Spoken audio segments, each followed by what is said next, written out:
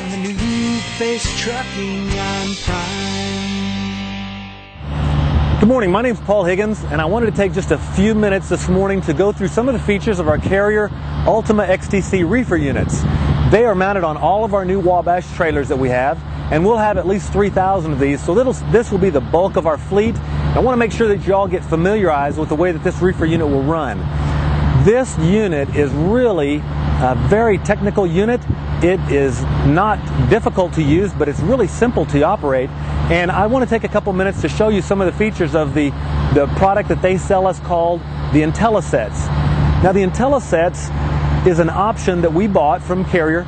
Not all Ultima XTCs have IntelliSets loaded into them, but it's something that we paid for so that we can fine tune the way that the reefer unit runs when we haul different products. We can tell it to operate in a certain way when we haul ice cream. We can tell it to operate in a different way when we haul normally frozen foods, uh, fresh meat, uh, flours. We can fine tune it for each of these products. And this is going to be some of the ways that we'll go through this this morning on this tape with you. One of the most important things that you need to know is the way to identify one of our reefer units that has the IntelliSets loaded in it.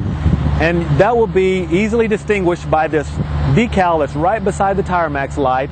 It's a white decal with red printing on it, and it just says basically IntelliSet instructions for Carrier Ultima XTC. So a real easy visual. You can drive through the trailer drop yards, and if you have an opportunity, pick up one of these trailers with this decal on it.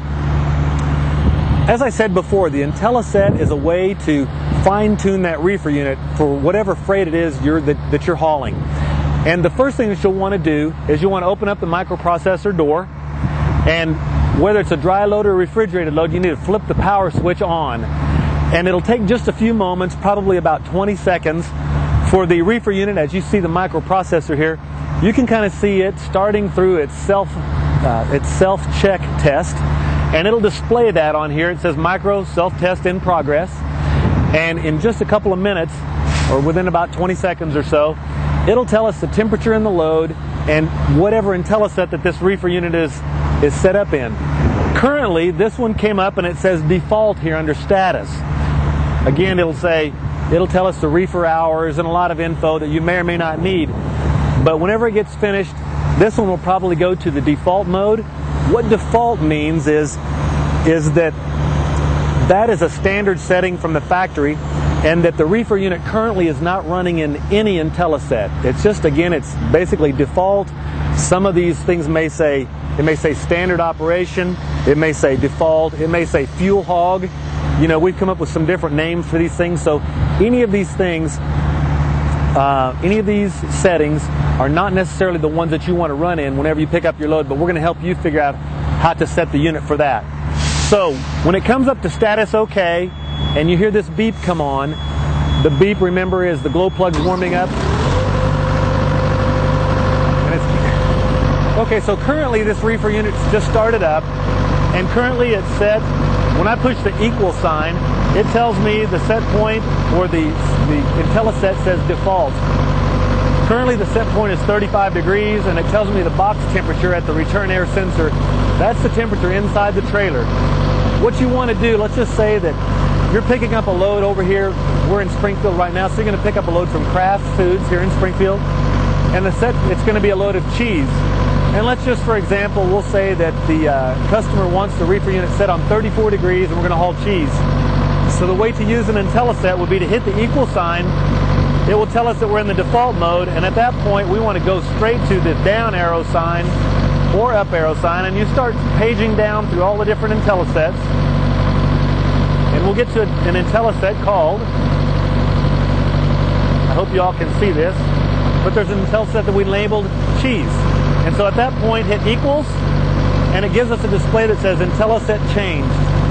Now remember that the key for this thing is that once you find the IntelliSet that you want, you'll need to hit equals fairly quickly or the system will go back to whatever setting it had before. Once it says status OK, all right, after you hit equals and it says IntelliSet change, wait until it says status OK. Now at this point, what we're going to be able to do is change the temperature on the trailer.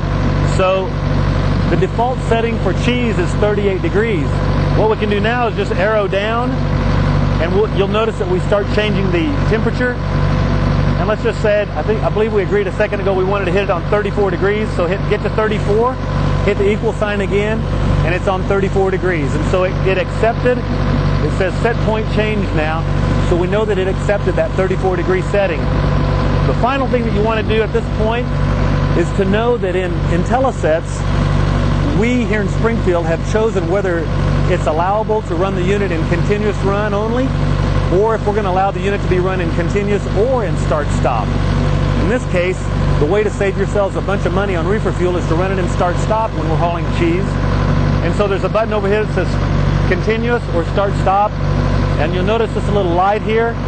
We can change it back and forth. In this case, I can toggle it, I toggle to continuous, but I don't want it to run there, so I'm going to go back to start stop, and I'm going to hit equals, and it's going to lock it in start stop. So basically what we're doing now is we're going to say, tell the unit to run it at 34, but stay off as often as possible to still protect that load and to save you reefer fuel.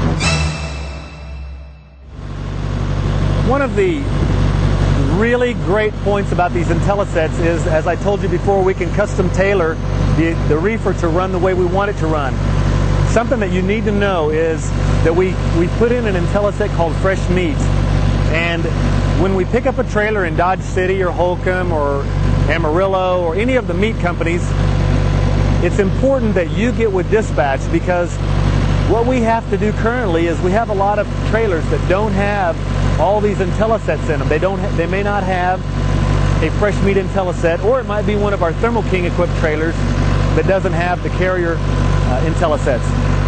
So currently we have to, in our pro numbers, we have to uh, signal that all the loads have to be run on continuous run until we know that it's an IntelliSet equipped trailer. So at that point, when you pick up that trailer in one of those meat companies, get with your fleet manager and tell them, hey, this thing has the IntelliSets. Remember that it'll have that red printed decal. And they can go and you guys can talk about which IntelliSet to run the unit on. And they can change the unit from, or they can change our order in the computer from continuous to start stop so you're saving money and you'll still protect that freight. Let me show you how to change it again just one more time. And we'll just use the fresh meat IntelliSet as our example. Let's just say that we picked up a load in Dodge City and the bills or our computer say run it at 28 degrees.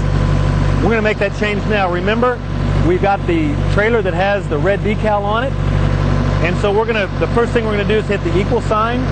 And currently this trailer is set in the cheese slash foods IntelliSet. So I'm going to start toggling down through these IntelliSets until I come to one that's called fresh meat. I got some pharmaceutical, I got a floral. Here's one that says fresh meat, so I'm gonna hit equals. And it tells me the IntelliSet has changed. And it put the temperature at 28 degrees because that because that's our default setting for fresh meat. Now again, you may have one that says uh, a customer may want the product at 30 or they may want it at 26.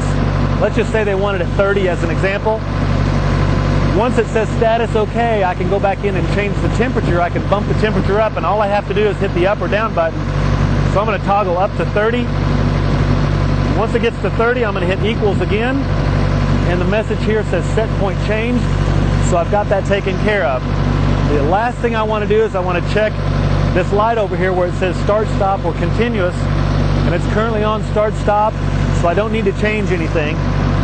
But if I did leave it in continuous run, remember that you're not going to get much benefit from the reefer unit, from the reefer unit's IntelliSets by shutting it off to save that fuel.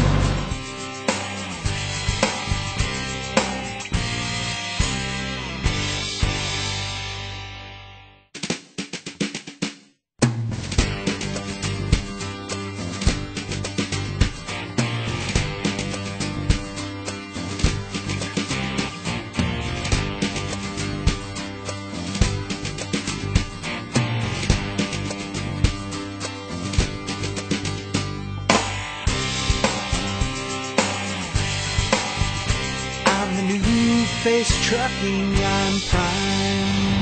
So that's just a quick run through on the IntelliSets. Just a reminder for you, your fleet managers have been trained in this, your mid-shift and night fleet managers and weekend fleet managers. The salespeople have been trained, our road assist, our shop guys, the people in the plaza all know about the IntelliSets. So if there are any questions, feel free to get a hold of any of those folks. If something comes up where we have a disagreement on how they really work, feel free to give me a buzz. Again, my name's Paul Higgins, and I appreciate your uh, attentiveness on this thing. I really believe that this product that we've gotten from Carrier is going to save you all a ton of money on reefer fuel, and it's going to continue to, to protect that product that we've, that, that uh, we've committed to our customers to do. Thanks a lot.